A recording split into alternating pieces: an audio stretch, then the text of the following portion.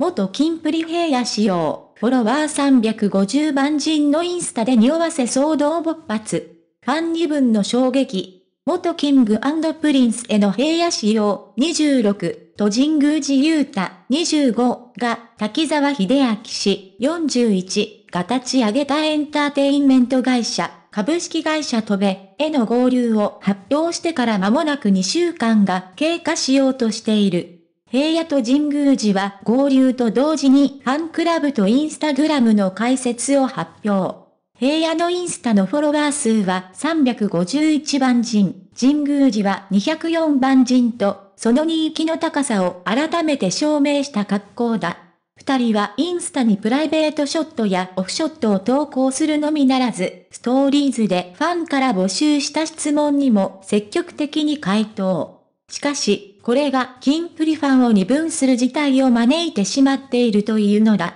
5月22日にキンプリを脱退した平野だが、ファンからはキンプリ時代を想起させる質問も多く、次のようなやりとりもあった。かぼちゃの絵文字の馬車はどこで予約できますか？ファンスマホでオンライン予約じゃない？平野。ハピーニス、ファン、懐かしい、久々に聞きたいなから、平野。かぼちゃの馬車はキンプリの代表曲であり、デビューシングル、シンデレラガールを思わせるワードでオフィシャルグズとしてかぼちゃの馬車のペンライトが発売されたこともあります。ハピーニスはキンプリの A リトルハピーニスという楽曲を指していると考えられます。女性誌ライター。四角平の仕様、一番の得意ポーズでキンプリのニューアルバムを匂わせ7月16日、平野は数々のピースサインをした画像とともに、俺の芸歴11年の培ったポージング。そ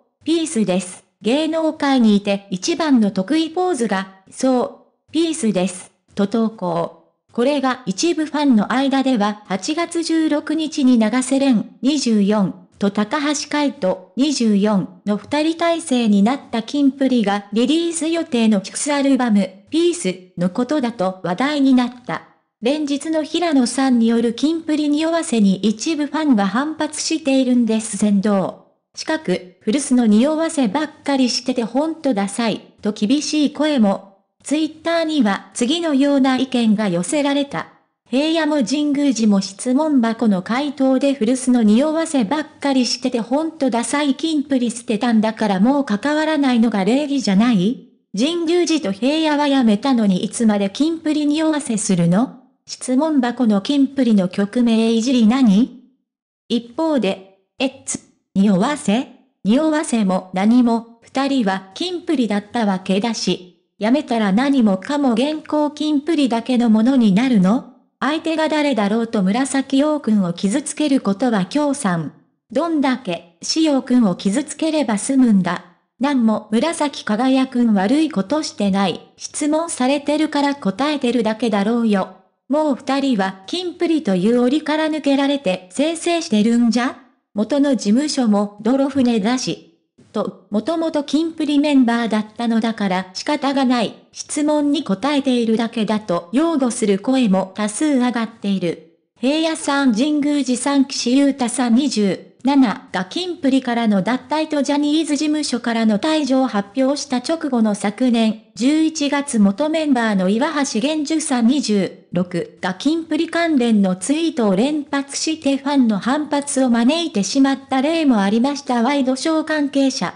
四角岩橋玄樹のキンプリに合わせツイートも反発を招き、岩橋は2021年3月にジャニーズ事務所を退場。独立後はアメリカロサンゼルスを拠点に楽曲のリリースやツアー、ファンクラブ運営、グッズの販売などを行っている。平野、神宮寺、市の脱退発表を受け、岩橋はインスタに、今まで彼らからたくさんの幸せや笑顔をもらってきたのは皆さんだと思います。なので、これからは皆さんが幸せや笑顔を彼らに与えてください。きっと皆さんの素敵な笑顔が見たいと思います。とメッセージを寄せた。さらに3人の脱退発表から1週間後の2022年11月11日にツイッターアカウントを開設。オーストラリアに来たると色々思い出す、らある、意味僕の青春でもあります。ね、など、岸、神宮寺岩橋で組んでいたジャニーズ JR 内ユニットミスタープリンスの撮影で訪れたオーストラリアの写真と共に投稿するなど、金プリ関連のツイートを連発。